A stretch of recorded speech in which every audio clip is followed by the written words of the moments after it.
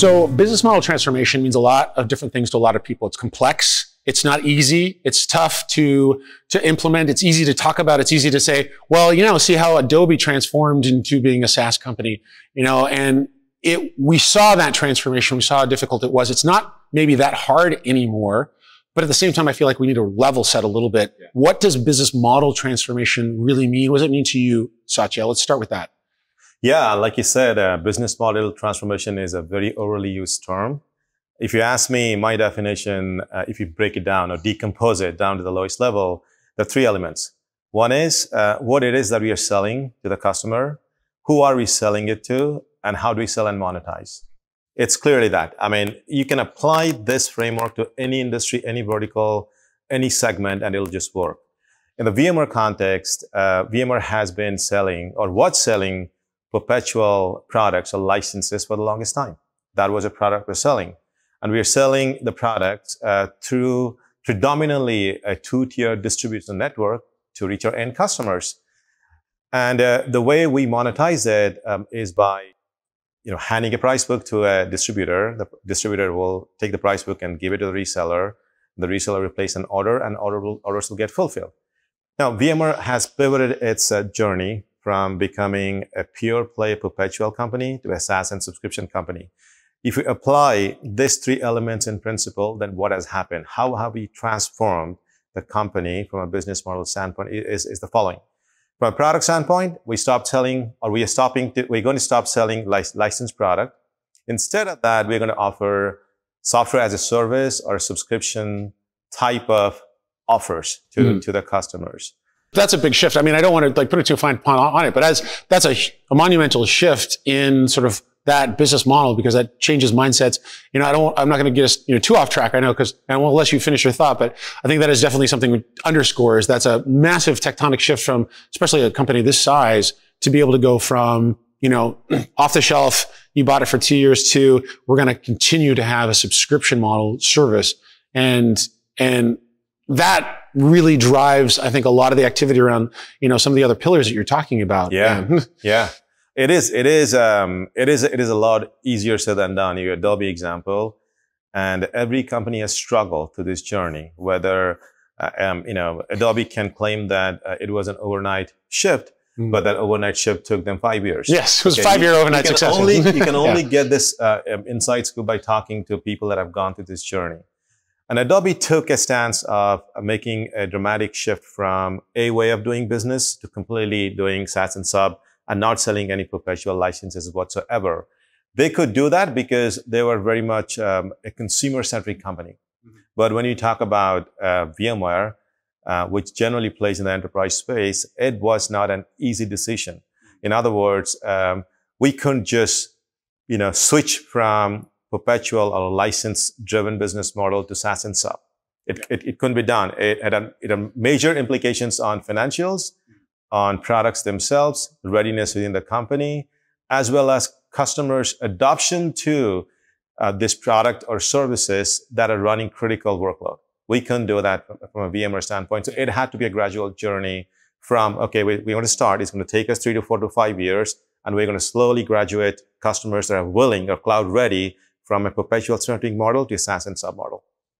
Yeah. And then what was that like for you, uh, Roopa, to, to go through that tectonic shift? What was that, you know, with, you know, within some of the framework that you talked about, um, Satya, how is it like your relationship? Maybe you talked a little bit of kind of like how, how, what's the relationship between, you know, the, the, the product management and your team and how the two work together and what that, what that shift was like for you and your team? Sure, sure. So as Satya was talking about, you know, his team works on what aspects of the transformation, what needs to be transformed. Um, and he works with different products and understands and then, you know, tries to come up with a big list of requirements in terms of this is how we're going to transform. And what my team is responsible is to implement that. So uh, what the team is trying to do is we are trying to build a unified commerce platform on which every single VMware product is going to transact in the SaaS model and we're going to service all of our customers through that one unified platform. That's the transformation journey. With, with that transformation, it's pretty much like, uh, you know, even though it's a business model transformation, it's every function and every aspect of what my team does is going to transform. Yeah, no, I think that's good because All like the way starting from how do we plan, how do we design, how do we implement, how do we deploy, how do we support the customers, every aspect of it is going to change. It's going to transform, you know. Mm-hmm. So that is the, that is the change that, that, that we are talking about. So uh, Satya's team comes up with the requirement, my team implements it. So we work so closely, like more like a two in a box. And that way we understand and we implement it. And the key is like again, uh, how quickly we can transform and how quickly we can realize the business value. yeah, and we say AR, the That's annual the- recurring revenue. So you had Yes. annual recurring revenue targets on your activity, and that's that is no small thing. That is that is tough. And you talked about how all the different aspects needed to change. Talk about some of the, the ways in which I know that the momentum of the organization can be very strong in a certain direction, and especially after the company's been around for a long time. What were some of the ways where some things, some things I imagine needed to just be broken and then rebuilt. Some things needed to be shifted. Some things need to be directed. Talk about some of the nuance because I think that's what's important here is that the the the values and the nuance of how you approached each of those changes that were driven by that SaaS transformation. Yeah, it's um, it's um, that's that's a good point. Um, in in the SaaS uh, and subscription world, uh, we call that as a new income statement, uh, which is um, everything is ARR.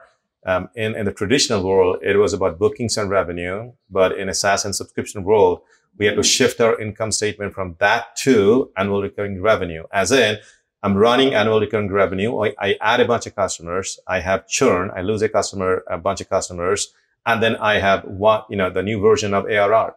We really had to pivot into that model when it came to prioritization. So consider, uh, for context, right?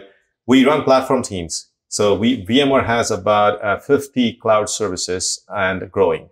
So we have the multi-cloud suite. We have the cloud native suite. We have end user computing. We have edge computing and we have a whole slew of management softwares. Every single product and service within VMware portfolio runs differently.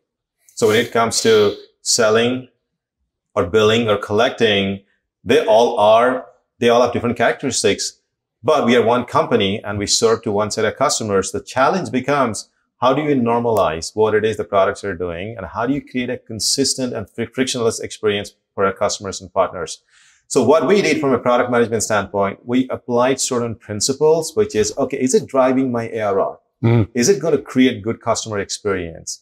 Is it going to increase my deal or transactional velocity? Applying that uniformly across all requirements gave us a list of prioritized stack rank candidates.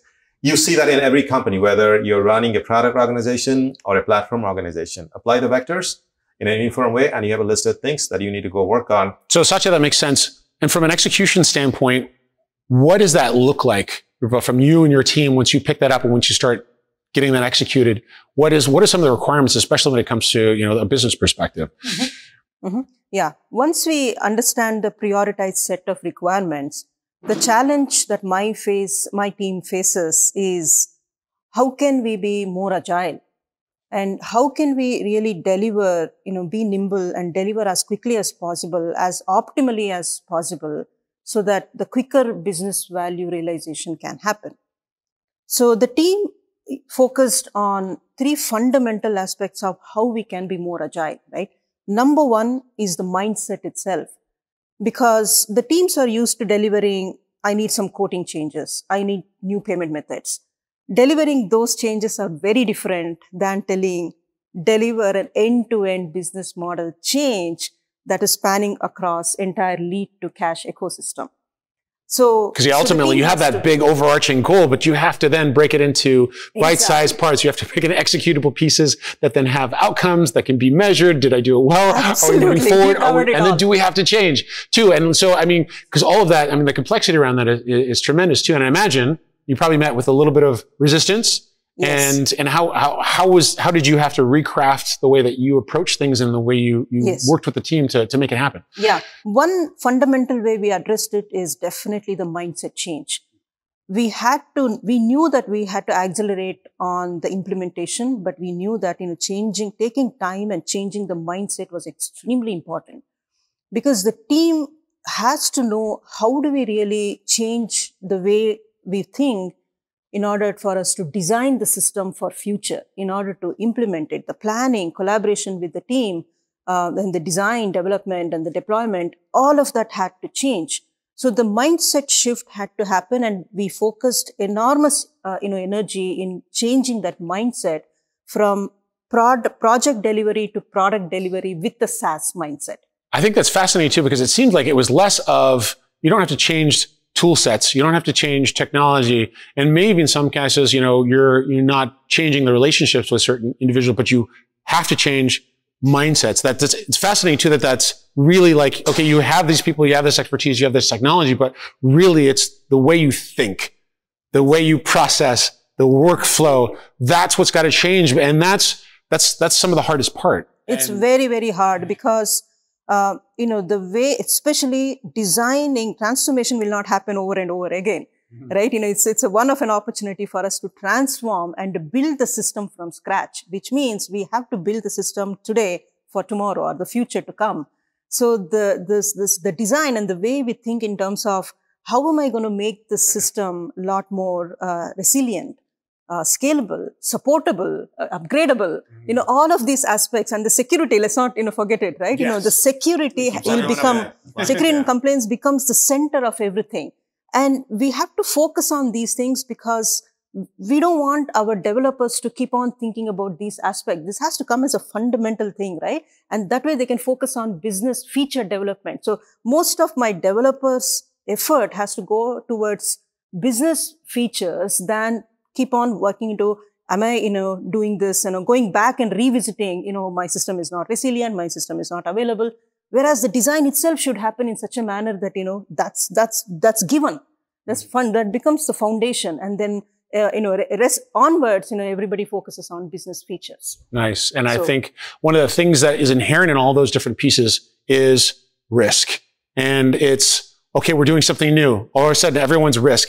Um, I, my job might change. My f- function might change. I'm seeing risk. How are you, how are you looking at, at each of those factors from the person to the process to, you know, the business outcome? And how are you addressing risk at each of those stages from, I mean, from the beginning, such Yeah. when you're designing this? Yeah. Well, you know, if you if you uh, if you start at the highest level, uh, then uh, there are a few things that had to happen. First of all, the company had to come up with a with a business strategy that translated into you know what are the business models that will have to be changed to support that shift. Now, going back to my answer, um, you know, what are we selling, who are we selling it to, and how we sell and monetize, those parameters had to be changed. So the next level down was what are the capabilities that will need to be developed to support the business model shift? That includes your process, policy, people, and so on. Um, I'm really, really extremely proud to say this. And as compared to last year, our throughput has increased five times. That's five times and it is not just by adding the capacity it is not just by making our, our teams work 24 by 7 Yeah. it is by improving the product productivity of each and every engineer by giving them the right tools and technology by giving them the right methodology and by giving them the right mission right? And then the mindset and that is all resulting. It took it took us some time though. You know of course there were resistance initially and you know it took us some time for us to kind of bring everybody into the team into that the journey and that same alignment. But once that happened as satya was telling you know compared to last year till now it's like an amazing curve for us right? You know in terms of the productivity in terms of the, just the just the business adoption in terms of the way we are delivering how smooth the releases are going. It's just it's just uh, Building on what Roopa was talking about, there was definitely uh, some resistance from the team because we have been living in this ever changing landscape. The team's questions were, what if we deliver something that is not going to be useful because maybe the models have shifted? So we had to really adopt the minimum viable product type of mentality, which is let's not go build a Cadillac yet until we know that the skateboard is working.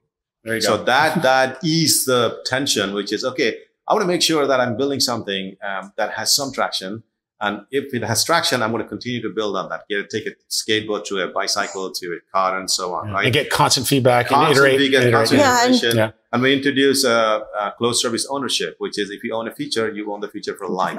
Oh wow! That included the product managers and engineering. it's like you break it, you fix it, you build it, you own it. you own it and you run it. Yes, you own it and you run it. Yeah, Yeah, and that's got what motivates the team, right? You know, uh, if they keep on delivering and if nobody is using it, It's a, it, that's the that's the most demotivation that I can think of for the developers. Yeah. The minute they realize you know business is using it and you are getting some value, that motivates them to deliver faster. Mm-hmm. You know, so that is what has happened over time. You know, mm-hmm. before we kept delivering it, but business adoption was quite low but you know we had to focus on that so there are various levers you know we focus on one and then we you know pick another you know so for all the levers to kind of come to an optimum level that's the journey you know that's going to take some time uh, that's fabulous and so i think at this point um, i want to thank you guys this has been a fabulous conversation if people want to learn more about what each of you are doing where you're going to be what you're working on where can they find you in the in the digital world well, they can find me on LinkedIn at a minimum. Excellent.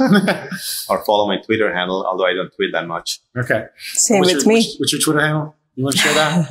we, we can cut it out too. no Same idea. with me, Okay. and mine is uh, Roopa Sundarraj. Okay. And, One word. And we we find you on LinkedIn as well? Yes, of course. Excellent. Anytime. Well, well, thank you both for joining us. Thank you. Thank Thanks you. for having us.